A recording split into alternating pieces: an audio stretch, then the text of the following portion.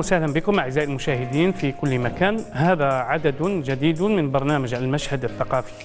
المشهد الثقافي أستضيف من خلالها في هذا العدد فنانة معروفة هي الفنانة نضال تشتغل حاليا على مشروع مسرحية موجهه للاطفال أجنحة نمولة. على مستوى المسرح الوطني الجزائري. نحن الآن نتواجد في قاعة الحاج عمار بالمسرح الوطني الجزائري وعلى هامش التدريبات والتحضيرات لهذا العمل المسرحي الموجه للأطفال. كما قلت أستضيف الفنانة نضال. أهلا وسهلا بك. أهلا وسهلا صديقنا عبد العالي مزغيش. شكرا على كرم الدعوة. وعلى الاهتمام بالثقافة والمثقفين. طيب بأي قبعة تحبين وتفضلين أن نتحدث؟ قبعة الفنانة المسرحية أم قبعة الفنانة التلفزيونية؟ وربما حتى السينمائية فنانة. فنانة لأنه أنا درست في خريجة المعهد العالي للفنون المسرحية باش نكون فنانة في كل المجالات يعني في السينما أو المسرح أو الدراما ولو أنه الجمهور عرفني أكثر التلفزيون في التلفزيون. لاحظت أنه المسرح على مستوى الإسماس يعني المعهد الموجود في برج الكيفان عدد النساء يعني الإناث كثير. يلتحقوا يلتحقن بالمسرح والسينما أيضا. ولكن فيما بعد نجد ميول هؤلاء تكون نحو التمثيل. الإخراج وحتى السينوغرافيا ربما قليل وين نلقاو النساء الممارسات إلى يومنا هذا. يعني عدد المخرجات في المسرح قليل. صحيح. لأنه اولا نحكي على تجربتي أنا. إحنا لما التحقنا بالمعهد العالي للفنون المسرحية كانت دفعة 95 كنا إحنا اللي حلينا المعهد بعد ما تغلق 10 سنين. آه كنا اولا المعهد كان غامر قبل بالتمثيل والنقد والسينوغرافيا والكوريغرافي آه بعد ما كنا إحنا في السنة الثانية جت دفعة الاخ دفعة عفوا دفعة الإخراج. إخراج كانوا معنا كانت معنا زميلة واحدة اللي هي سمية بن عبد ربو كمخرجة وكان معنا بالقاسم عمار محمد وكان مزارين أحمد. في الحقيقة لما رحنا للميدان سمية خدمت شوية بن عبد ربو نحييها. ولكن نظرا لأنه المرأة الفنانة سواء في ال في, ال في الإخراج أو التمثيل أو لما يعني هي كأم وكذا ربما تجذبها شوية الأمومة والبيت والزوج وتعرف إحنا خاصة المرأة في المرأة الفنانة في المجتمع العربي مظلومة شوية ومقهورة يعني. فما بالك بالمخرجة يعني المخرجة أحيانا كما كانت تقول الأخت المخرجة اللي راهي درك راهي تناضل تونس. تقول باللي المخرجة كمرأة في الميدان ما خلوهاش تفرض نفسها وصح يعني لأنه إذا ذكرنا الأسماء المخرجات عندنا عندنا مثلا فوزية ايت الحاج اللي هي أستاذة في المعهد أختها حميدة ايت الحاج كانت سونيا ربي يرحمها أيضا راحت لل... لل... بعد التمثيل راحت لل... بعد تجربه طبعا طويلة راحت للإخراج. يعني صح المراه كمخرجة في الميدان قليلة. حتى في السينما. في السينما لا كاين المرأة في السينما من من زمان يعني كاين المرأة في السينما كاين المرأة في التلفزيون في المسرح لكن في الإخراج قليلة إخراج المسرحي مرهق بالنسبة للمرأة أو لا وين؟ أنا نحكيو على الإخراج لا الإخراج في السينما صح قليل في المسرح قليل في لأنه الإخراج كل متكامل كل متكامل ولازم تتفرغ له لازم تكون أنت ال ال ال كيفاش يقولوا أنت المعلم ولما تكون المرأة أنت المعلمه لازم تكوني متفرغة فقط لهذا العمل. وأنا كما قلت لك المرأة في الجزائر ولا في الوطن العربي لما تكون أم وتكون زوجة وتكون يعني يا إما تظلم كزوجة وكأم يا إما تظلم كمخرجة. لهذا ربما نلقاو أنه المرأة تواجدها في الإخراج قليل. والمسرحية نتاعك اللي راكي الآن تحضري فيها مع الشباب هي موجهة للأطفال. نعم. هي أول تجربة لك كمخرجة؟ نعم هي مسرحية أجنحة نمولة للكاتب يوسف بعلوج. وأنا أعدت كتابتها وأضفت لها شخصية حديدوان. من خلال هذه الشخصية اللي نسيناها واللي تهمشت كثير من الفنانين تاوعنا اللي صنعوا البسمة وصنعوا الفرحة والفرجة لعالم الطفل نسيناهم. أنا خلي آه، حبيت من خلال هذه الشخصية نكرموه حديدوان ونقدموه نعاودوا آه، تقديمه للطفل ونعرفوا به آه، المسرحية هي أول هذه المسرحية هي أول تجربة إخراجية لي بعد ما اشتغلت طبعا كمساعدة مخرج. مع المخرج بالقاسم عمار محمد في مسرحيات عديدة بيت الحدود البطل الرجل العاري يعني أعمال كثيرة. آه، أول مرة يعني نقولوا لكن كان كان كانت اقتراحات من قبل باش باش نتوجه الإخراج. كان أستاذنا ربي يرحمه آه، محمد بن قطاف كان آه، الفنان المايسترو زياني شريف عيات كان يعني لكن أنا مانيش كنت مانيش متخوفة لكن أنا تعرفني صديقي اني نأمن كثير بالتخصص.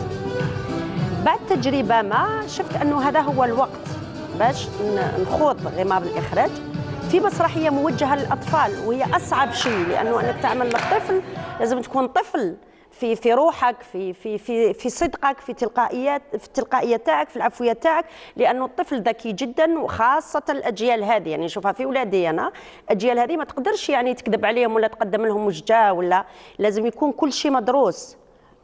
في الفكرة في اللغة في الأداء في التعبير في كلش. ربما حتى طبيعة المرأة نعم. أه تكون أكثر حميمية مع آه، مسرح موجه للطفل. صحيح لأنه المرأة بطبيعتها طبعا حنونات تفهم الطفل حتى ولو أنها مثلا لم ترزق كأم لأنه في طبيعتها المرأة الأمومة تجري في دمها حتى ولو ما هيش أم. الأمومة في طبعها وهي أيضا طفلة ترفض أن تكبر.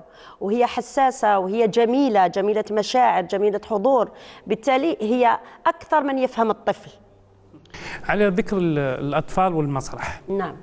ما تشوفيش باللي المسرح المدرسي مهمش كثير في بلادنا؟ للأسف وهذه نقطة مهمة وكنت دائما نقولها انايا انه المسرح يجب أن يدرس من الابتدائي. إلى الجامعي لأنه مهم جدا. مهم جدا لأنه يطور ذكاء الطفل يطور إحساسه بالآخر يطور ثقته بنفسه بالجمال يحثه على المطالعة على أنه يكون عفوي على أنه يكون تلقائي على أنه يعرف يواجه المجتمع.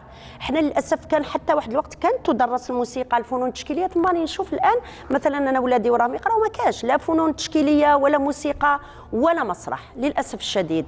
تحدث الإعلام قبل عام عامين آه، عن آه، اتفاقيات ما بين وزارة التربية نعم. ووزارة الثقافة. آه، هل تعتقدين أنه ضروري يكون قرار سياسي أو قرار ربما سيادي موجه للطفل؟ آه، على مستويات عليا من أجل آه، تكريس الفنون داخل المناهج التربوية. نعم ضروري جدا ضروري جدا لأنه كما قلت لك آه، باش ما نقولوش يا ربي لأنه وزارة التربية والتعليم الفن يهذب يهذب السمع يهذب النظر يهذب الحواس والأدوات اللي عند الطفل والأطفال. لما يكونوا عندنا الأطفال مثلا تشوفوا عندهم واحد المواهب خارقة. بالتالي المسرح هو الوحيد اللي فجر هذا الشيء المسرح والرياضة. يفجروا هذا الشيء في الطفل ويجنبوه أمور كثيرة. يجنبوه مثلا المشاغبات يجنبوه مثلا التوحد اللي رانا نحكيو عليه اللي راه للأسف كاين أطفال بزاف يعانوا منه. يجنبوا أمور يعني آه، آه، عديدة قد تكون خطيرة. أنت اشتغلتي في مجال السينما فيلم نعم. وحيد للأسف. مال وطني. واشتغلتي في آه، كيد الزمن وما بعد كيد الزمن من مسلسلات. ثم عدت إلى المسرح. هل هذا حنين للخشبة أم اضطرار لأسباب ما؟ لا هو الأصل عندي هو المسرح كما قلت لك. أنا خريجة المعهد العالي للفنون المسرحية. الأصل عندي هو المسرح. بدايتي كانت مسرح في المعهد وقبل المعهد قبل الالتحاق بالمسرح آه، بالمعهد العالي للفنون المسرحية. كنت اشتغلت في مسرحية اللي هي الجم والخصام. مع جمعية كانت في في مدينة الغاية. رحت بالصدفة هكذا اشتغلت معاه مع داني الممثل اللي راه درك في الميدان المسرحي فوزي بايت. والمسرحية كانت مكتوبة للاستاذنا الكبير عمر فطموش. نعم. وبعدين أنا مارست الكتابة والصحافة وكلش والتحقت بالمسرح باش باش نكون كناقدة أو كسيناريست.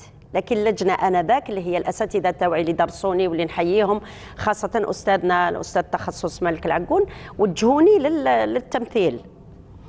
لكن المسرح ما خليتوش لا بالعكس اشتغلت في المسرح في المعهد مسرحيات كنا نشتغلوا عليها وبعد التخرج اشتغلت في المسرح أيضا التحقت بالمسرح الوطني رفقة الأستاذ محمد بن قطاف في مسرحيته التمرين سنة 2003 وبقيت نشتغل هنا في المسرح مسرحيات. لكن صحيح لأنه التلفزيون الآن نروحوا لمشكل التلفزيون والسينما وكلش. أنا أنا شخصيا كانا كممثلة كأدوات كوش نحب ك. التلفزيون آه، آه، إلى حد ما ابتعد شوية حاد شوية على ما يطلبه المتلقي الجزائري. الأسباب لماذا؟ آه، تشوفي باللي ممكن الأعمال التلفزيونية وحتى ربما حتى les sitcoms يعني نعم. خصوصا هي تلقى رواج من طرف شباب جديد متخرج. بالمقابل فنانة كما أنت عندك مسارك الله يبارك بقيتي بعيدة عن آه، الأعمال التلفزيونية الأخيرة يعني. لا المشكل ماهوش تم المشكل أنه مثلا آه، في الآونة الأخيرة يعني صارت واحد الفوضى واحد العبث مع هذا العلب les boîtes privées هذه الخاصة مع القنوات هذه الخاصة مع بالتالي اختلط الحابل بالنابل. وحتى المنتجين اللي ما عندهم حتى علاقة بالميدان الفني. آه، يجيبوا أي واحد ويجيبوا أي نص ويجيبوا أي هكذا اللي يسموهما سيناريو أي فكرة أي كذا ويجيبوا ناس اللي للأسف ممكن تكون موهوبة لكن ما كاش مخرج جيد موراها باش يوجهها باش لأنه لازم إدارة ممثل لازم نص يكون مكتوب جيد لازم هذا الع... هذا الفوضى وهذا العبث أنا أرفض أن أكون فيها يعني نرفض لأني أنا الفن نشوفه واجهة ثقافية ل... للجزائر. مسؤولية. ما نقدرش من بعد ندور مورايا ونقول له كان غير ما لعبتش في هذاك الفيلم لو كان غير ما شاركتش في هذاك المسلسل لو كان غير لأني أنا هكذا أنا ناقدة لاذي عن نفسي اولا. آه، وثانيا للشيء اللي راه صاير للأسف. مع فاطمة بالحاج آه، انت مثلت يعني في فيلم آه، مال وطني. نعم. حدثيني عن هذا يعني التجربة وضعي الجمهور كله في ضوء تجربتك هذه السينمائية مع مخرجة. مخرجة متمكنة راقية سيدة حساسة جدا مثقفة جدا. وللتاريخ سيدة فاطمة بالحاج سينمائيا تأثرت بها ومسرحيا تأثرت بالسيدة دليلة حليلو.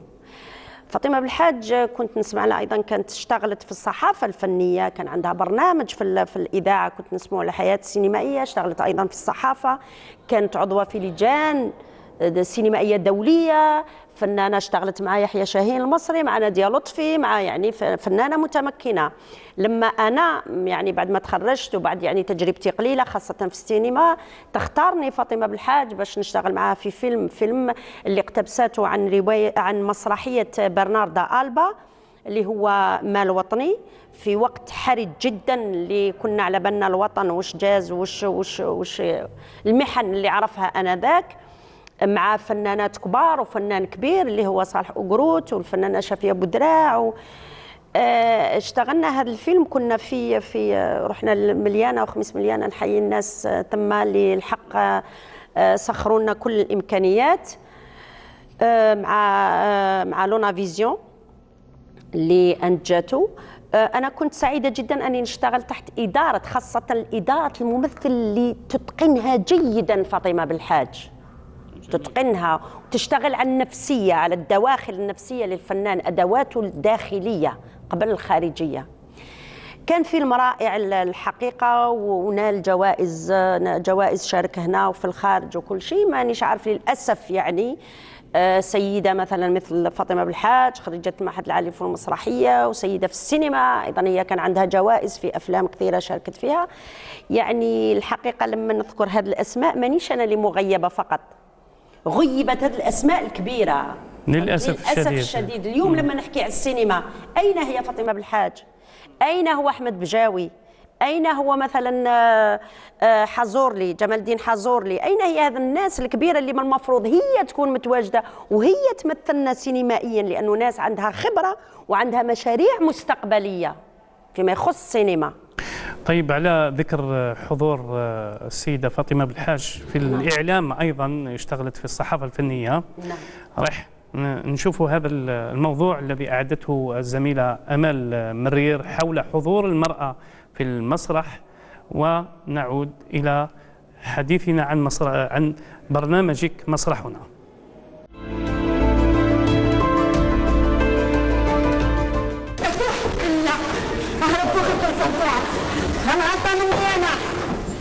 ما يعرفوش يصوبوا السلاح. لم يكن في الماضي الطريق معبدا أمام المرأة الجزائرية لولوج عالم المسرح. فقد تمددت في طريقها عقبات كثيرة أهمها نظرة المجتمع السيئة لنساء هذا الفن. إلا أن المجهودات التي بذلتها النساء سنوات الاستقلال الأولى أمثال كلثوم ياسمينة فضيلة زيرية ونورية وأخريات أدت إلى امتلاكنا اليوم فضاء مسرحيا لمخرجات وممثلات فنرى تغير نظرة المجتمع إلى المرأة المسرحية. فما كان من المجتمع الأبوي التقليدي إلا أن يتراجع منحنيا تبجيلا لنساء اعتلين خشبة المسرح معلنات أن عهد الحداثة في الفن المسرحي قد حان. فشهد المسرح اقتحام المرأة الجزائرية الخشبة في السنوات الأخيرة بشكل لافت.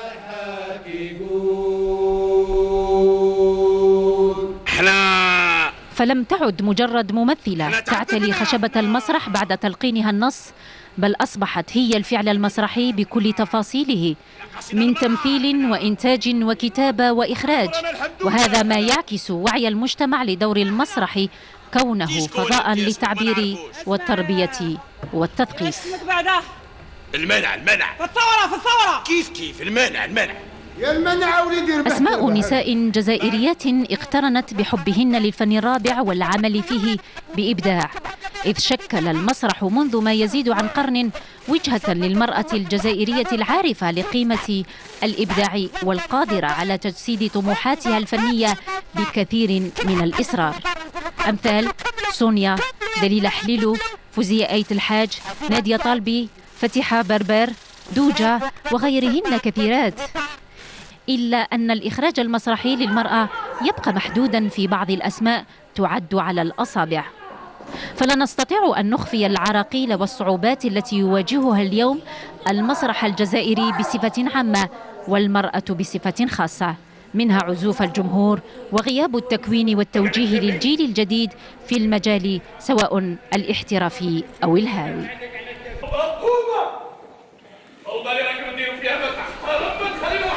رغم أن أملنا قائم اليوم في المعهد العالي للفن المسرحي الذي خرج عددا كبيرا من النساء المسرحيات اللواتي درسن المسرح والتمثيل ليتطور دورهن ليصبحن صاحبات خطاب ويشاركن في العملية المسرحية بكل تفاصيلها. إلا أننا اليوم نتأسف على غياب المسرح المدرسي في المؤسسات التربوية إذ يعد المسرح والمدرسي النواة الأساسية لظهور المرأة في المسرح فالمدرسة هي الأقرب إلى وجدان الجزائري. والتجارب المسرحية المدرسية من شأنها أن تخلق أجيالا من المبدعين والفنانين من الجنسين وتساهم في بناء جيل واعي وحضاري يؤمن بأن الثقافة هي أهم أركان المجتمع المتوازن. هذا الشيء حلال ولا حرام كانت تتهيأ في الأفق. بدأ الخوف يأكلني من الداخل. ليس على نفسي. التربة التي لم نعد نفهمها ولم تعد هي أيضا تبذل أدنى جهد لتفتيش أحزاننا ودواخلنا التي شاخت بسرعة أين هو البلد السعيد؟ أين هو البلد السعيد الذي بشروا به بعض الاستقلال؟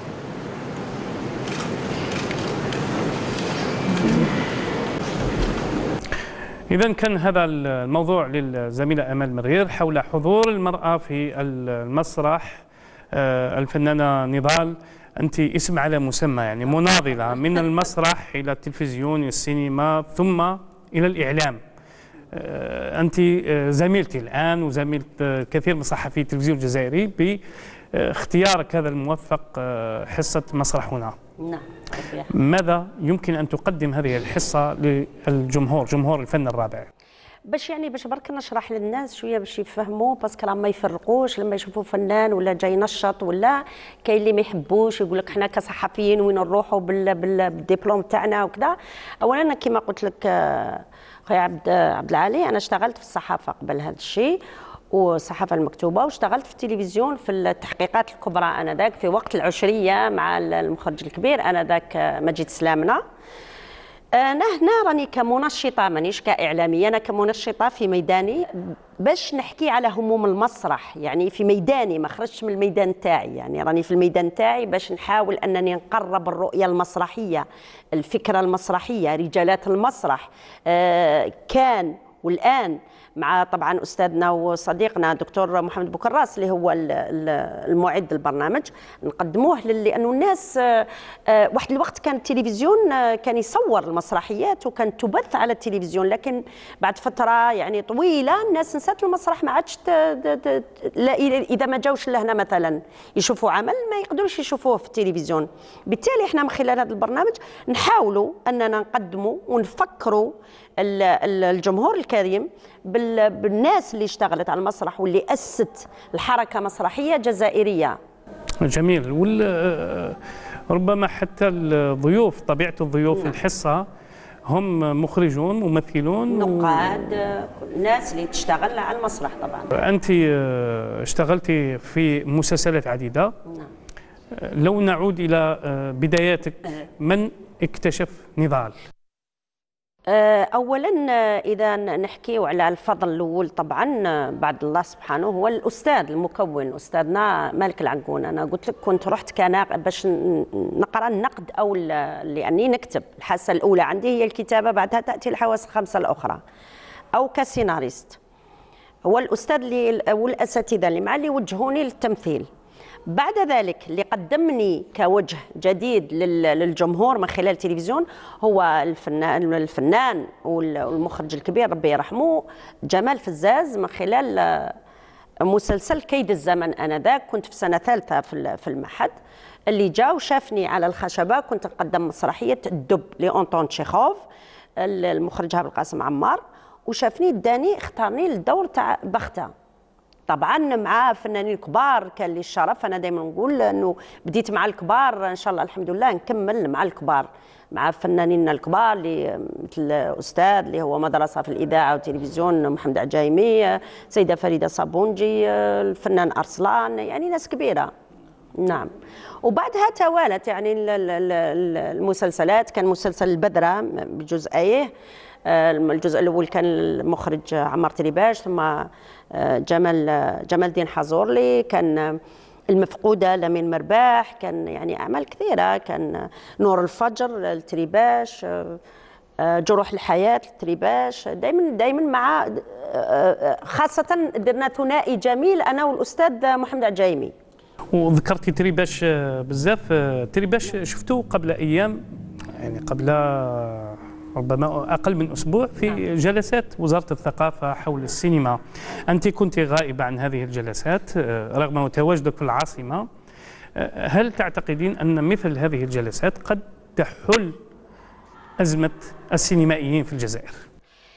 اولا أنا هذه الجلسات هكذا اعتباطيا وهكذا أنا لا, لا, لا لم أستوعبها علاش لأنه أول شيء يحتاج الفنان وكنت كتبت أنا للسيدة وزيرة الثقافة وأنه لازم قبل كل شيء تتشاور وتتناور مع الحكومة باش تأسس لنا إلى قانون فنان اولا. قانون الفنان اللي بعده تجي نقابه محترمة للفنان طبعا بإجماع. اللي اول أول مادة تكون فيها أنها لازم تلاقي الفنانين وتحببهم من بعض وتقربهم لأنه المشكلة إحنا ماناش بزاف. كان قالها الفنان الكبير عثمان عليوات ربي يطول في عمره. إحنا رانا غير شوية نتحسبوا وماناش متفاهمين مع بعض. لازم أول مادة تكون أنه لازم تحبوا بعضاكم وتتقربوا من بعضاكم. هذه أول مادة. بعدها لما تكون هناك نقابة هذه النقابة هي التي تختار الأسماء الأهل التي تروح تجلس مع الوزيرة وتقول انشغالات الفنان ويكون عندها مشاريع مستقبلية للسينما أو لأي فن آخر. آه لأي عفوا لأي فن آخر لأنه هكذا جلسات آه، كما كنت قلت فيها فنان واحد وعشرة متطفلين و40 دخلاء و50 خبزيست هذه أنا ما نشوفش باللي آه، يعني لازم كان لازم تكون فيه فئة تمثيلية طبعاً. تقود نعم. مفاوضات مع وزارة الثقافة و... اللي مؤهله أنها تهضر بأسمي وباسم هذاك الفنان وهذاك الفنان وهذاك الفنان لتعرف مشاكل الفنان وعندها مشاريع مستقبلية رؤية في الأفق للسينما. ماهوش أي واحد يقدر يق- يقعد ويناقش وكذا. أنا نشوف أولاد البارح بداو يمثلوا اليوم يروحوا يحكيوا لي على واش عندك كمشاريع؟ مؤخرا حضرت مسرحية خاطيني نعم. للفنان المخرج أحمد رزاق. أنت شفتي الصور؟ جماهير متدفقة خارج قاعة المسرح الوطني الجزائري وحتى في ولاية مستغانم يعني في العرض الأول. آه، كيف إحساسك أنت كفنانة مسرحية وأنت تشاهدين هذا ال- ال- النهر من الجماهير آه، فائضا خارج بوابة المسرح؟ أحمد رزاق وأنا كتبت عليه بالك راك قريتها. أحمد رزاق بامتياز هو مسرحي الشعب. مسرحياته موجهة للشعب. ما هي لا تاع نخبة ولا تاع هي للشعب وهذا وحنا اللي من نخدمه نخدمه للجمهور. أحمد رزاق هو المخرج الذكي اللي يعرف يستفز الضحكة تاع الجمهور. الناس اللي تجي تشوفه ياخذ من المجتمع ابن واقعه ولو أنه مباشر لكنه ابن الواقع تاعو. ياخذ من الواقع تاعو ويقدم. وجيب احمد رزاق كل أعماله هكذا تصنع الحدث. وجي بي اس لمحمد شرشال. للأسف ما شفتهاش. للأسف ما شفتهاش. ولكن ما تعليقك حول آه، وصولها إلى آه، يعني الجائزة الكبرى في المسرح؟ شوف أحمد هو محمد شرشال صديق درس معنا في المعهد.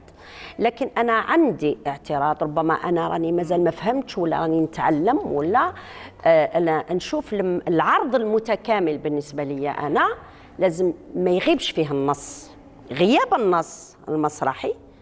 ما نشوفش باللي العرض متكامل. قد تكون لوحات تعبيرية بالجسد أو بالبونتوميم لكن أهم شيء في المسرحية النص المسرحي لأنه غدوة لما نجي أنا راح نعاود مثلا راح نعاود مسرحية GPS. نجي ناخذ النص وين راه النص. ربما شرشال أنا سالته يعني في حصة آه، آه، في المشهد الثقافي قال بانه يبحث عن عالمية ال- العرض لأنه العرض لما يكون صامت هو يعرض في كندا يعرض في أنا ما يعرض في عرض مسرحي متكامل. تبحث عن العالمية معلش بلوحات صامتة كذا تعبر تقول لأنه الجسد أيضا أداة عند الممثل. لكن باش نقول عرض مسرحي متكامل في غياب النص أنا شخصيا ما نقدرش نهضمها. بهذا الحديث الجميل والشيق مع الفنانة آه، نضال.